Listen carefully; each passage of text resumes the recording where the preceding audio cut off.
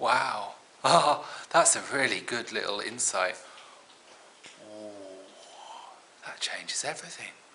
What? What changes everything? What are you talking about? This life, this life that I've taken so seriously is actually a very simple, very fun game. A game. Okay, explain. Explain, explain this game. Well, basically, all you have to do is, like with any game, you have to, you have to try and win. But winning is not winning as in, I, I have to get there or, or I will have failed. It's winning as in, I'm going to feel as good as possible. I'm going to be as joyful as possible. I'm going to fulfill my dreams in the sense that I am going to actualize a life, manifest a life that is fulfilling for me, that makes me feel rich. Not necessarily money riches, but rich. So, how do you play this game? How do you how do you get there? How do you win? What do you have to do? Well, you basically have all these power ups all the time. And I got this idea from Jane McGonigal. I just heard a few talks on, uh, on, on TED, TED Talks of hers. And she's a video game designer. And I've had, I've had all these kind of insights about the forgotten game. And then I heard this talk she did about um, how you can uh, make yourself better by playing this game called Super Better that she she um, invented, and I just thought, wow, that is it. That is just the the the way to fit it in to to my life. And for the past few days, I've been playing it. So power ups. These are anything that that makes me happier, makes me go up a level. Such as, what makes you happier? Smiling is, is one. Looking at someone in the eye is another. Going out into nature is another. Breathing and being aware of my breath is another. Stretching, getting a good night's sleep. Appreciating something. Writing down my dreams and remembering my dreams. Savouring something that I'm eating that I enjoy. Socializing. Taking time out loving myself, reminding myself of my self worth, forgiving myself, forgiving others, complimenting someone, being generous of spirit, acknowledging a good feeling and allowing it to blossom. When I'm tired, allowing myself to rest, when a burst of energy comes, riding that wave of energy, looking up in the sky and wondering at the beauty of the universe,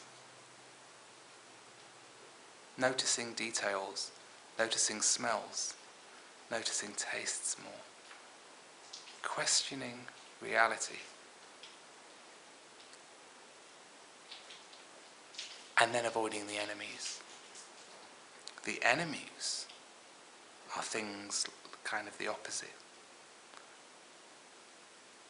Such as beating myself up about things, criticizing, gossiping,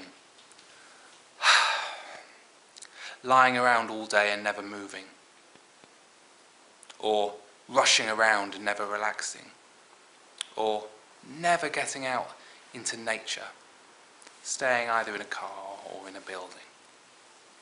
Things like that. So, the start of each day, instead of getting up, okay, going to work or going to school or going to the shops or whatever you would do that day, and thinking about all the things you've got to worry about, start the day like this. Ah, game time. I'm going to take a breath.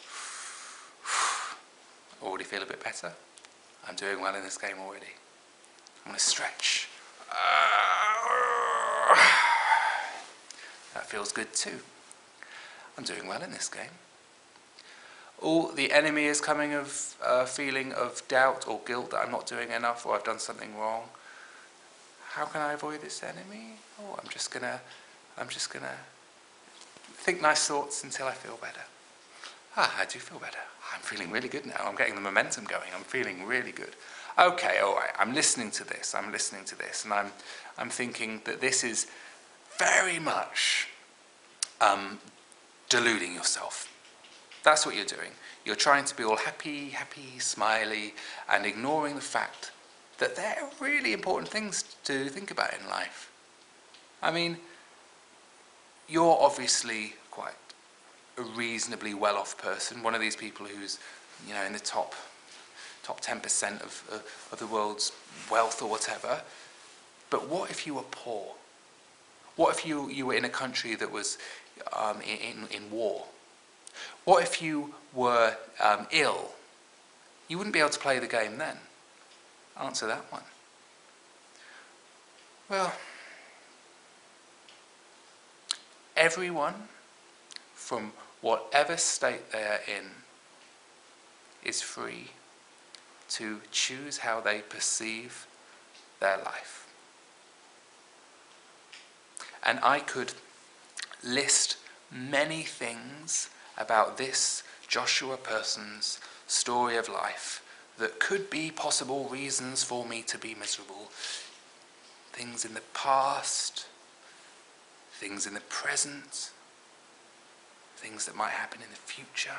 I could find all sorts of things, and all of us could. And I know that might seem discompassionate, but there's this wonderful quote. Can't remember exactly how it goes. It's, I think it's, don't ask what the world needs. Ask what makes you come alive. Because what the world really needs is people who have come alive.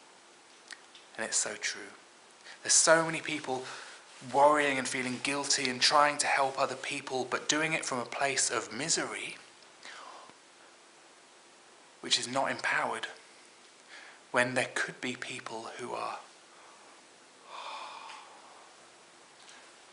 their joyous, kind, good being is just naturally flowing out. Because naturally is the word. We are naturally good people. And when we follow our bliss, we are not going to criticize people. We are not going to trample over other people on our way to success because it doesn't feel good. We are naturally going to uplift others with our presence, with our actions. It will happen. So, I'm looking forward to tomorrow. See how high I can get in the game. See how far. Not in the way that if I don't get very far, I'll be miserable. But in the way that it doesn't really matter, because it's all a game anyway. It's fun. It's all a very enjoyable kind of unreal reality. Quantum physics tells us that actually when you get right into the the, the depths of the atoms, matter, this stuff all around us and that we're made of, gets very strange. It doesn't really have a, a steady state. It's different when you look at it to it is when it's not being watched. So what are we anyway?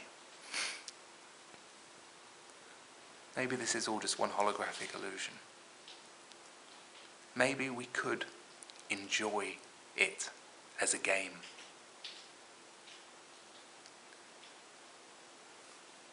Many are. Many, many are.